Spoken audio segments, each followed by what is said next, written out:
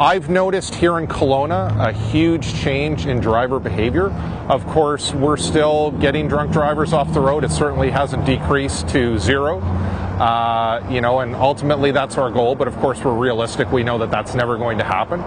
But we've noticed a huge difference in the behavior. We've noticed a lot more um, if we've been stopping vehicles that have uh, left areas where there's bars and liquor stores, etc. A lot more designated drivers that we find, uh, and leaving the downtown area as well, which is great. Uh, we've also noted that at the end of the night, after the bars close at 2 o'clock, we'll drive through the area and notice that parking lots have 30, 40 cars parked in the lots after the bar is closed and everyone's gone home, which to us is indicative of they've you know made the decision to find alternate transportation.